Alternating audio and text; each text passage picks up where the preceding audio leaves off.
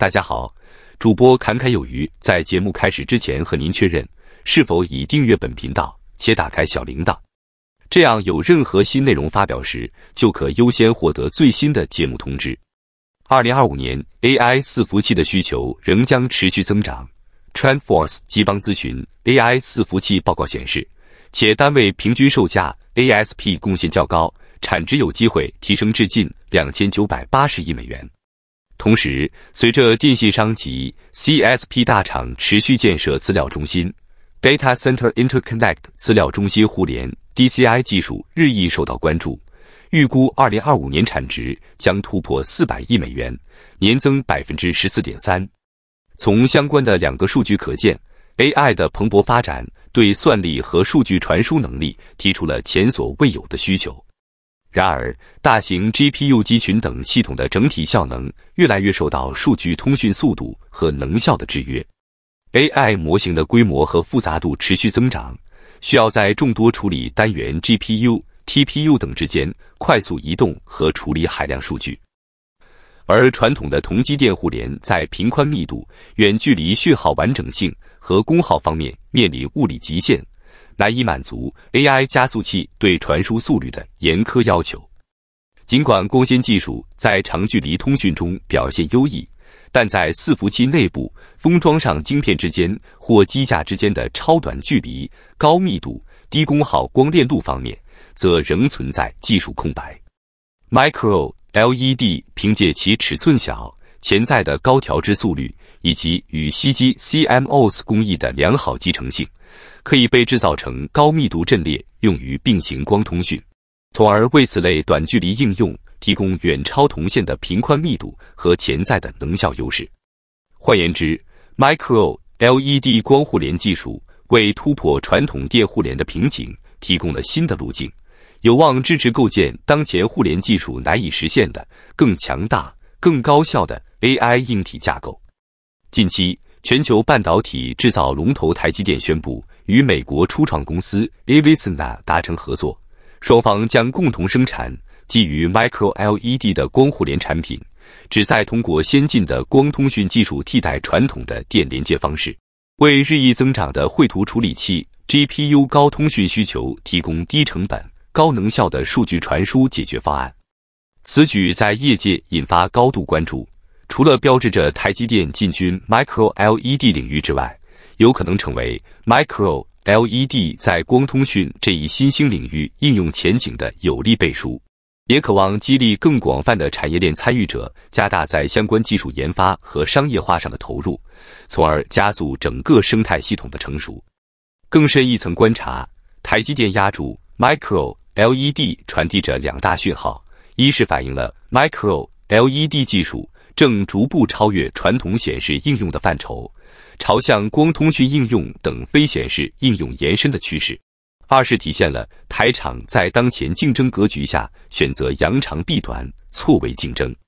具体来看，本次台积电的合作对象 Avisna 便致力于开发超低能量光链路技术 Light Bundle。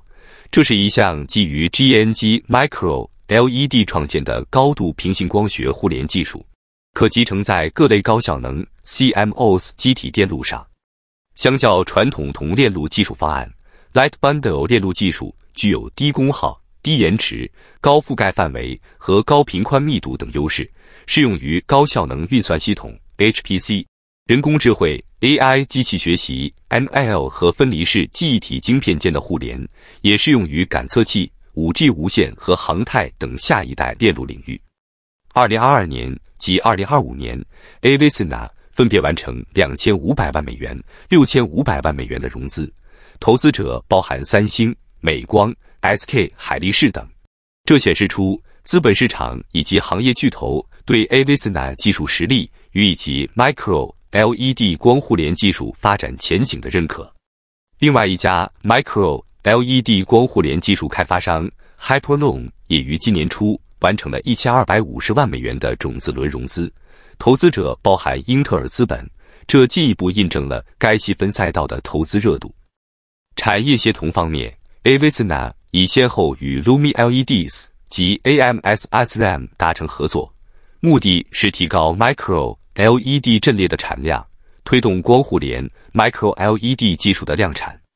在本次与台积电的合作中，台积电将负责制造 Light Bundle 系统中的吸光侦测器阵列，预期将运用其成熟的 CMOS 制程结合 Chiplet 封装技术，协助 Avisna 扩大生产并加速产品落地。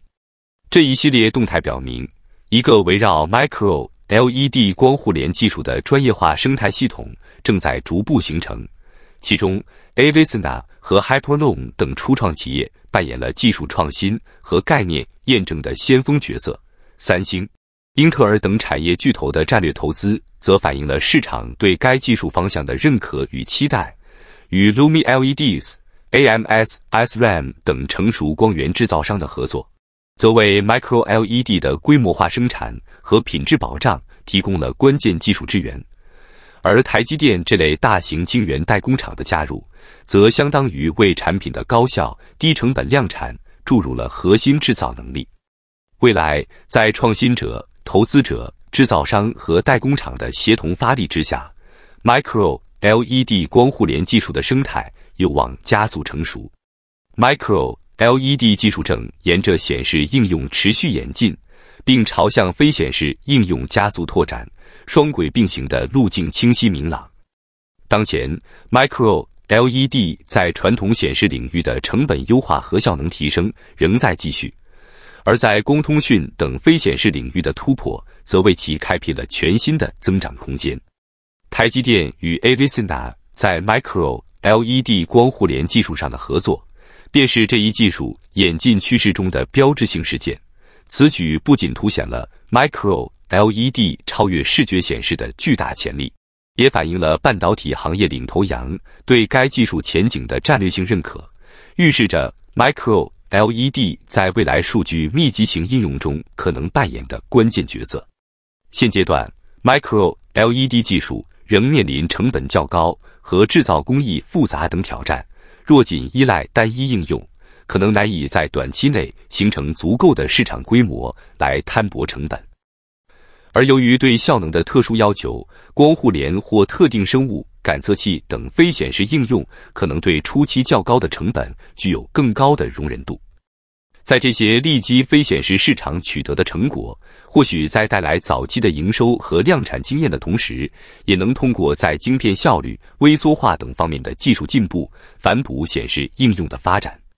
因此，通过多元化的应用布局，同时发力显示和非显示市场。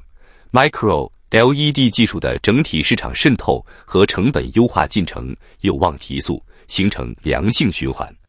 总体来看，在 Micro LED 这一新兴技术浪潮中，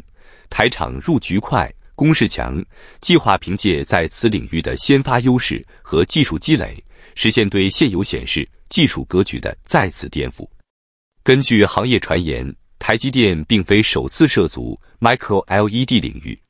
在此之前，市场早已传出台积电将与苹果公司合作开发 AR 设备，而苹果未来的 AR 眼镜预计将采用 Micro LED。